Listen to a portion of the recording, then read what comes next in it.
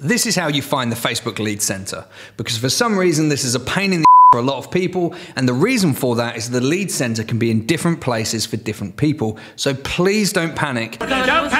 Don't panic! If it's not where I say it is, it will be there somewhere.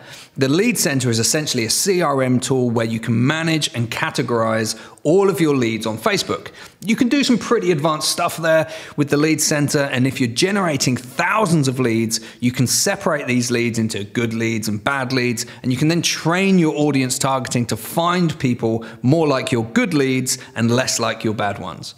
But continually going through that process of sorting your leads and refining your audience targeting, you'll make your marketing efforts more and more effective over time and improve your lead quality. So let's get in and I'll show you where it is. Most people think that it's going to be in the ads manager section. It's not in the ads manager section. You can look there all day, but you're not going to find it. So come to business.facebook.com and quite simply on the left hand panel here, you click on lead center and that will take you straight in. Now, there are some names down the side here that we're going to have to blur out. This is one of our clients that we're doing some lead generation work for. And you can see all of the leads there and that they've come in from paid, um, that we've got their email addresses, and that they're at the raw stage of the customer journey. So you can see a lot of detail there around the lead center, but that is where you will find it the vast majority of the time.